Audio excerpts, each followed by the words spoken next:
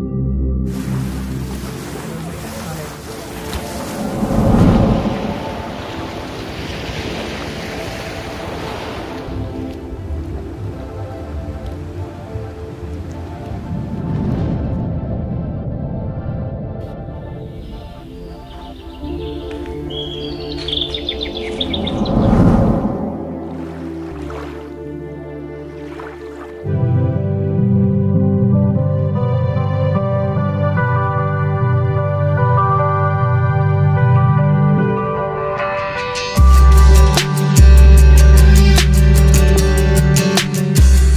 Hai semua, di video ini aku bakal membahas bagaimana cara membuat video tracking transition dengan menggunakan aplikasi KineMaster.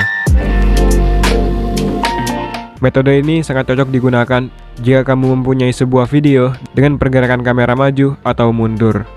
Kamu bisa menggunakan gimbal atau stabilizer bawaan kamera untuk mendapatkan video yang stabil. Oke, dan langsung saja kita buka aplikasi KineMaster.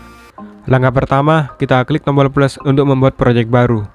Kemudian pilih aspek rasio 16 banding 9. Lalu kita masuk ke background. Sementara kita pilih hitam ini. Selanjutnya, kita ubah warnanya menjadi hijau sebagai green screen. Kira-kira seperti ini, dan klik centang. Kemudian kita masuk ke layer, dan pilih media. Lalu pilih gambar polaroid seperti ini. Kamu bisa mencarinya di Google atau mendownloadnya di link deskripsi. Dan kita atur ukurannya seperti ini. Langkah berikutnya, kita masuk ke layer dan pilih media. Lalu tambahkan sebuah video yang akan dimasukkan ke dalam frame polaroid.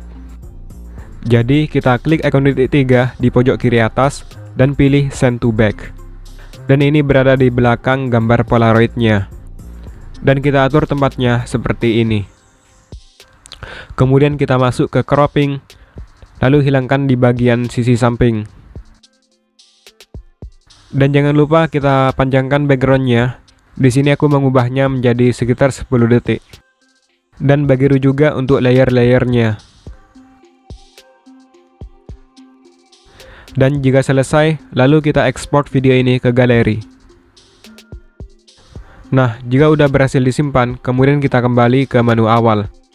Lalu kita buat project baru dengan menggunakan aspek rasio yang sama, yaitu 16 banding 9.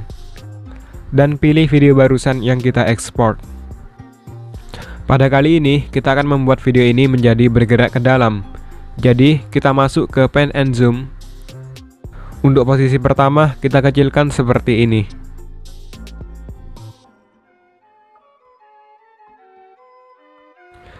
Sedangkan untuk posisi terakhir, kita zoom hingga videonya full layar.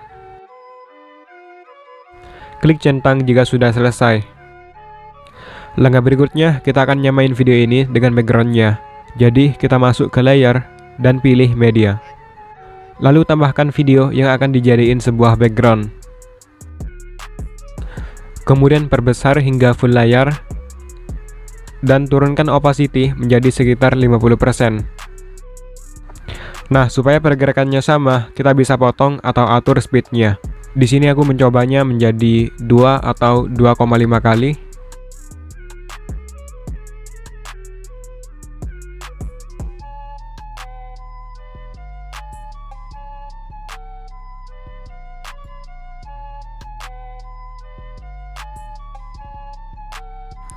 Oke, kira-kira seperti itu. Lalu hapus layernya. Nah, pada background tersebut kan masih ada hitam-hitamnya.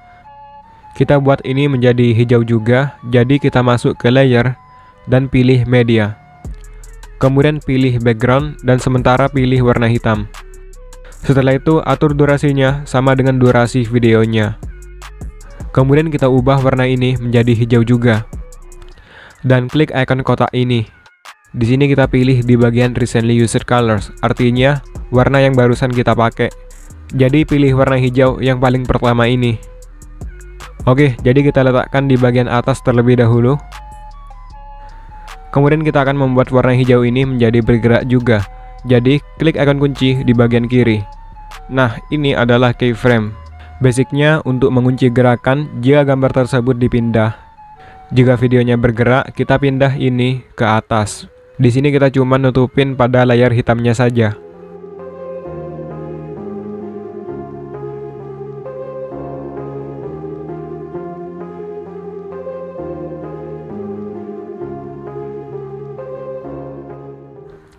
Jika selesai, kemudian lakukan hal yang sama seperti barusan, yaitu untuk di bagian bawah dan samping.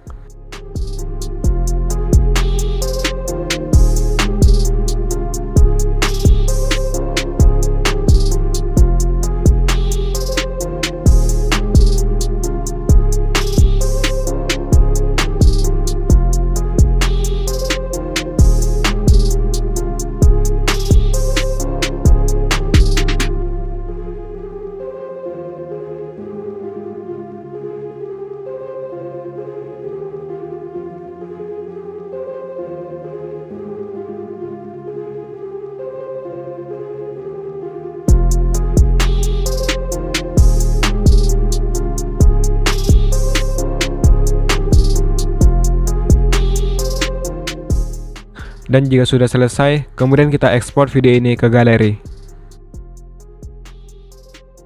Dan jika berhasil disimpan, kemudian kita kembali ke menu awal. Kemudian kita klik tombol plus untuk membuat project baru. Lalu pilih aspek rasio 16 banding 9. Kemudian masukkan video backgroundnya. Setelah itu kita masuk ke layer dan pilih media. Dan tambahkan video barusan yang kita ekspor. Setelah itu kita masuk ke chroma key dan aktifkan.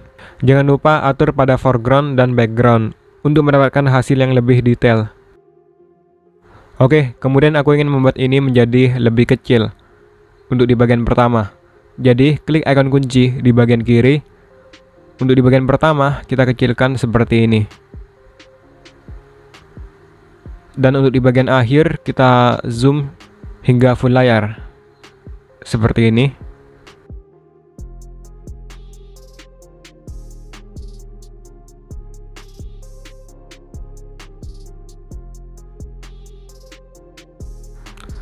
Kemudian kita potong saja backgroundnya. Dan pas waktu Polaroid ini mendekat, aku ingin menambahkan efek blur, supaya ini menjadi fokus pada video Polaroidnya. Jadi kita masuk ke layer dan pilih efek dan tambahkan efek mosaic blur. Lalu ubah settingannya. Di sini aku hanya mengubah strength menjadi satu. Jangan lupa kita buat ini menjadi full layar. Di sini aku juga memberikan animasi masuk menjadi fade dan atur durasinya menjadi sekitar satu detik.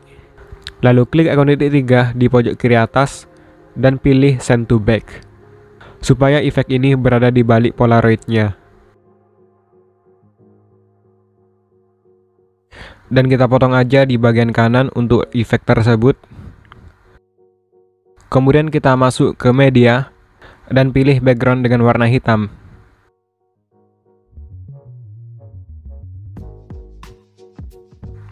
Nah, pas waktu video pada Polaroid ini menjadi full screen, kita masuk ke layer dan pilih media. Lalu tambahkan video yang sama.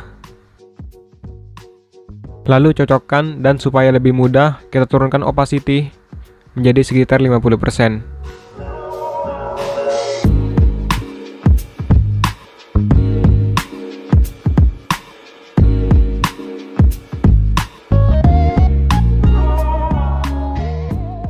Nah, kalau udah cocok, kita naikkan kembali opacity menjadi 100%.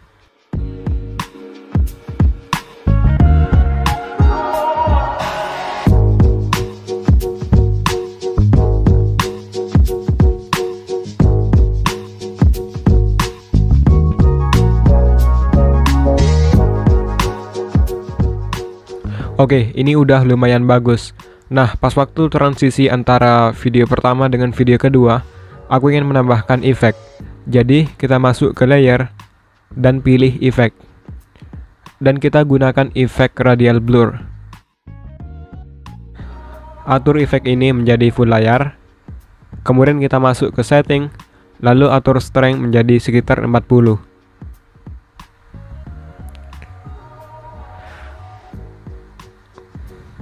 Oke, jangan lupa kita potong, kita hanya perlu di bagian sini. Kemudian kita berikan animasi masuk menjadi fade. Atur durasinya menjadi satu detik. Begitu juga untuk animasi keluar.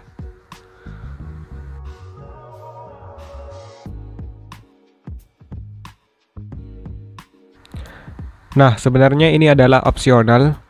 Untuk yang terakhir, aku ingin membuat ukuran ini menjadi normal karena tadinya kita ke crop. Aku menggunakan keyframe supaya bergerak keluar.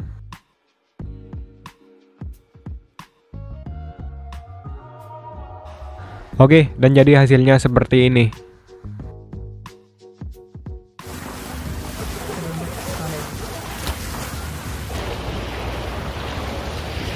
Oke, jadi begitulah cara membuat video tracking transition dengan menggunakan aplikasi KineMaster. Aku rasa ini memang lumayan susah karena fitur pada aplikasi ini memang terbatas. Oke, dalam kata terakhir kamu bisa simpan video ini atau kembangkan untuk dibuat video apa pun. Jadi begitulah tutorialnya. Terima kasih banyak udah nonton. Jika kamu suka dengan video ini, silahkan tinggalkan like. Jangan lupa follow Instagramku. And see you again in the next video.